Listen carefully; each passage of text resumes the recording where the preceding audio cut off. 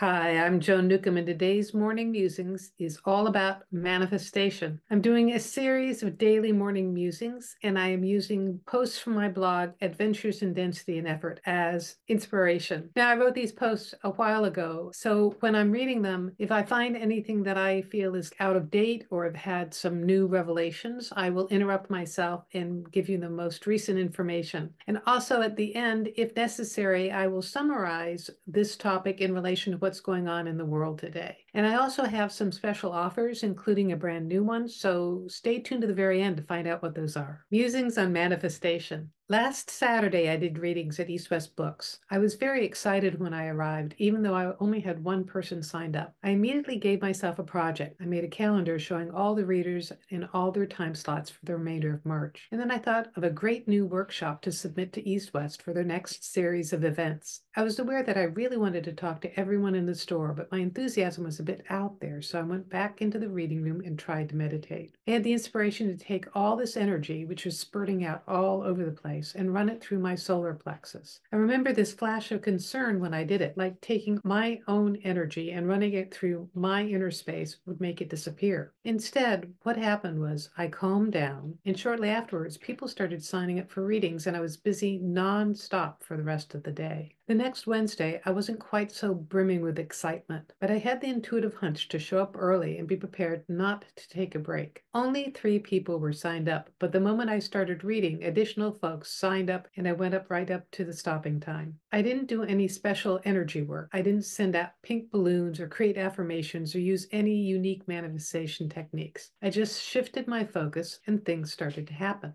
A typical but ineffective way of creating your reality is to put your focus on what you want to happen. You create an affirmation or a vision board, and you keep it in your consciousness all the time. Except in so doing, you are using the energy of effort, which kills spiritual creativity, and you're not letting go of your desire. So you keep holding it as a wish rather than releasing it to become reality. It's tough to let go of your dreams, but that's what needs to happen if you want it to come into form. There's an additional element to all of this. In focusing on what you want to manifest, you're somewhat resisting what you already have. You're trying to change, fix, or improve your present creation, which invalidates them and keeps them stuck. Your expanded self is delighted at what's currently in your hologram. Even the most uncomfortable aspects of your life your expanded self is going, Yeah, bring it on. Because as spirit, you have no ethics, and everything is your creation. So the most challenging dilemma is just evidence of how creative you are. You, the you that is more than you, loves difficulties and discomfort. That's not exactly accurate. You, the you that is more than you, just loves playing the human game and is enjoying every aspect of it. You, the you that you usually identify with, has preferences and resists them when they aren't going your way way. Resistance and discomfort are an indication that you're out of alignment with the essence of who you are, your expanded self. When you relax and trust that all is very, very well, that everything is unfolding exactly as it should, suddenly things start to feel a lot better and good things start happening. Abraham Hicks calls it turning downstream. Others call it going with the flow. I like to think of it as your little will aligning with your higher will. And a simple way to do that is to bring your focus back to yourself, to the present moment, to bring your energy within your own space. Drop all those people and projects and things you're trying to help make better. Those people have expanded selves as well. Your projects, if they're yours, are already on some level complete. Releasing them helps them unfold as they should as well. I invite you to take a moment right now to just imagine releasing everyone to their own reality. Bring your energy back from all those others' places to your own space. Take a deep breath and imagine anything that's not yours